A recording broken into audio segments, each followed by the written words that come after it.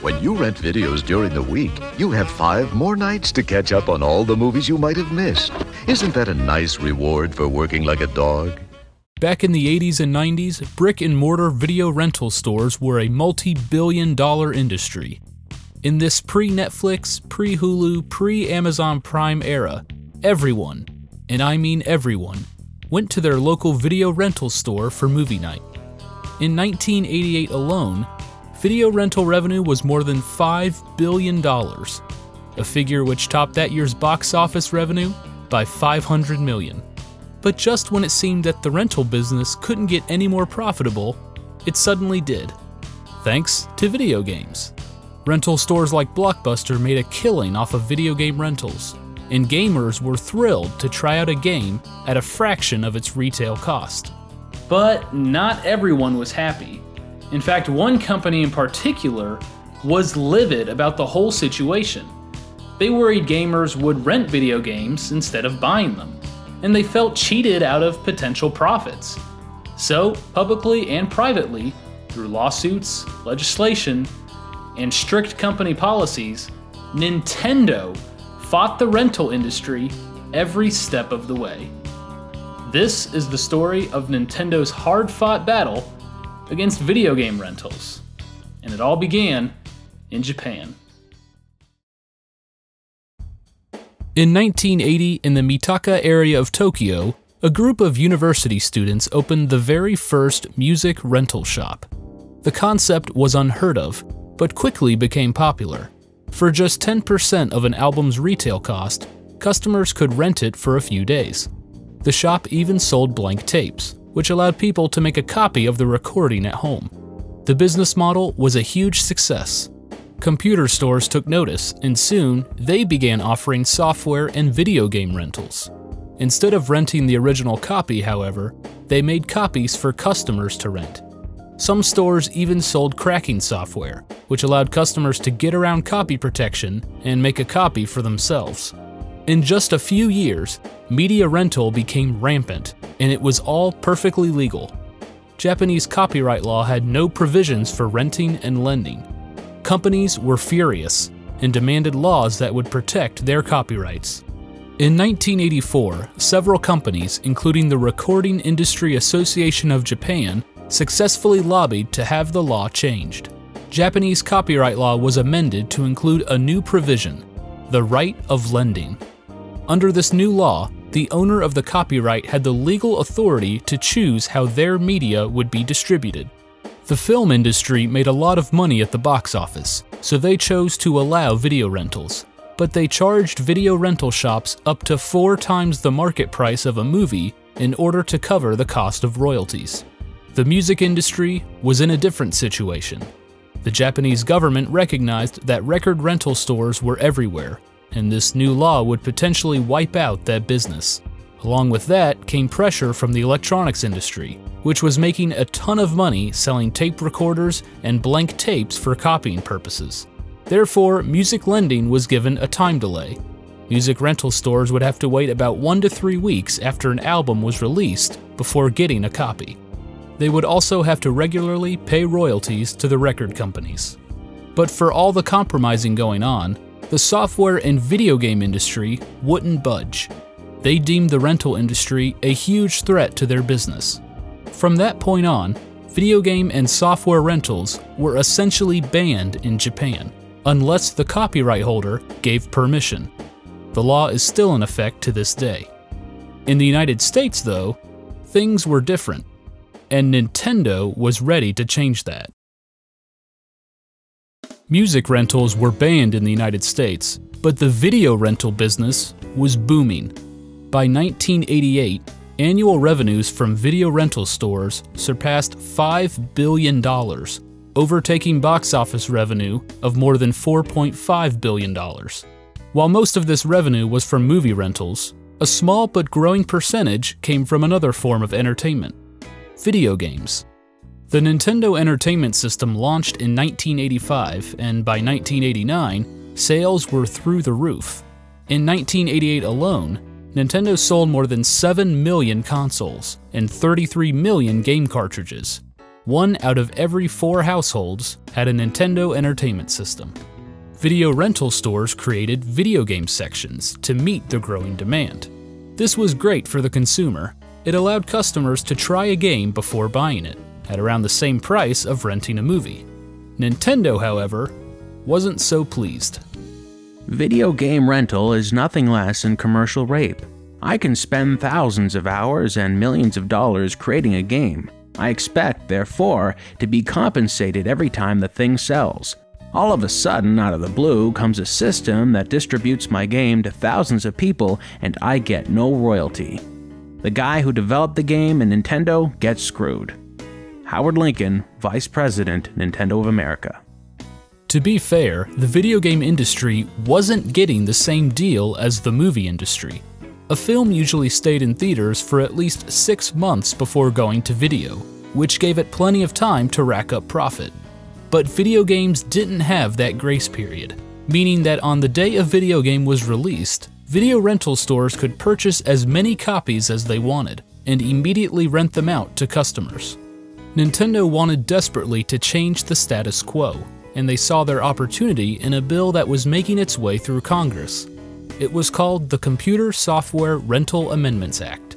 The Software Publishers Association, along with computer companies like Microsoft, pushed for legislation that would effectively ban computer software rentals. Piracy was becoming a problem in the industry, and they viewed this legislation as the best way to curtail it. The music industry was protected from rentals, thanks to the Record Rental Amendment Act of 1984, Software companies wanted the same considerations. Nintendo argued that they should be included in the bill, since video games can be considered software.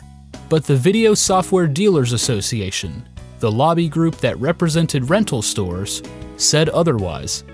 They promised to do everything in their power to defeat the bill if video games were included.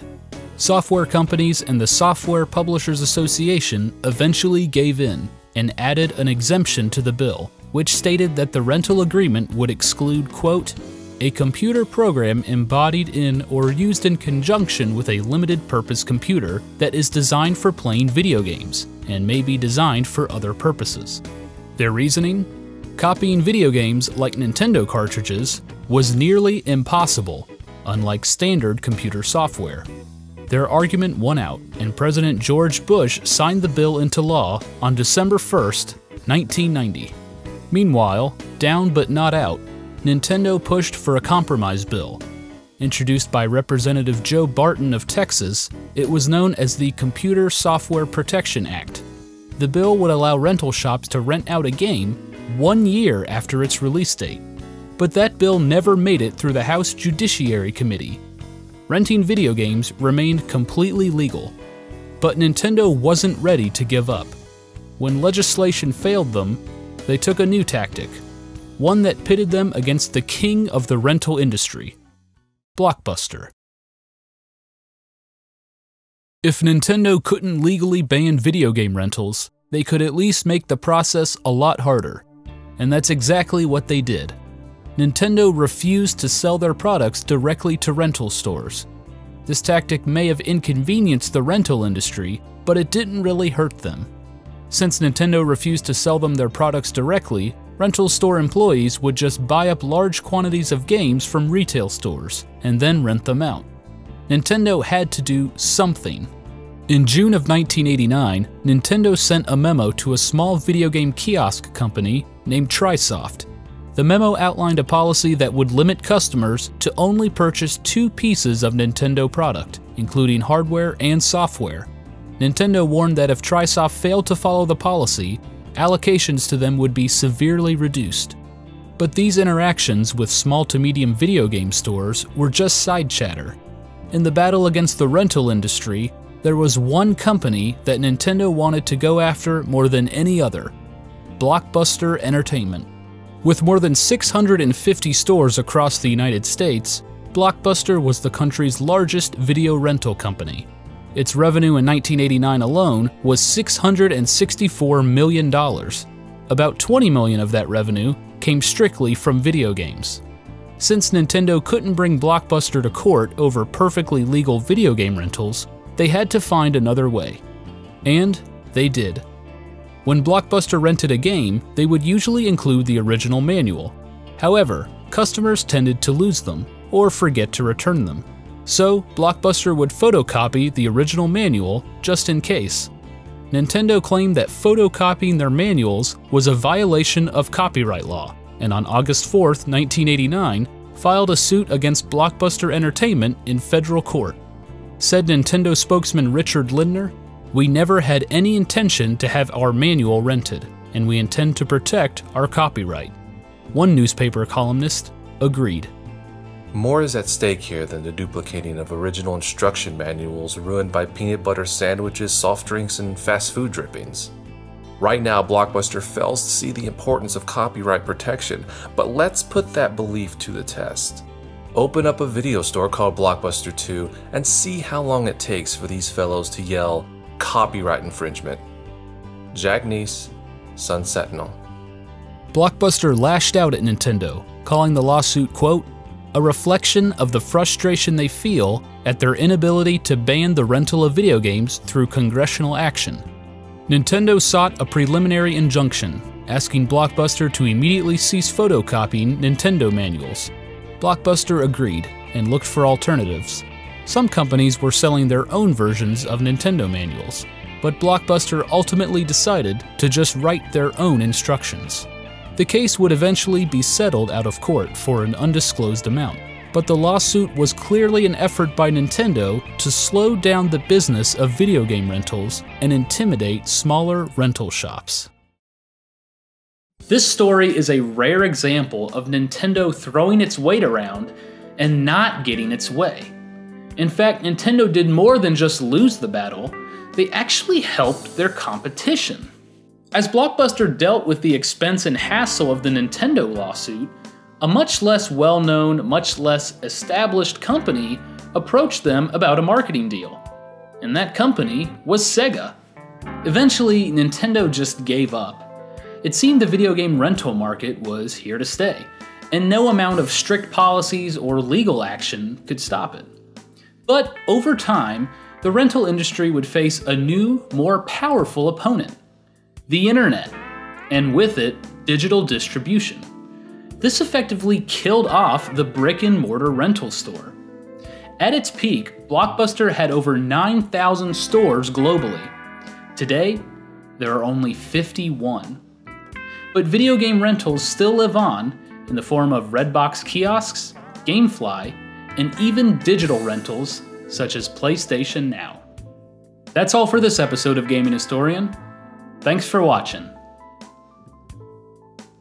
Funding for Gaming Historian is provided in part by supporters on Patreon. Thank you.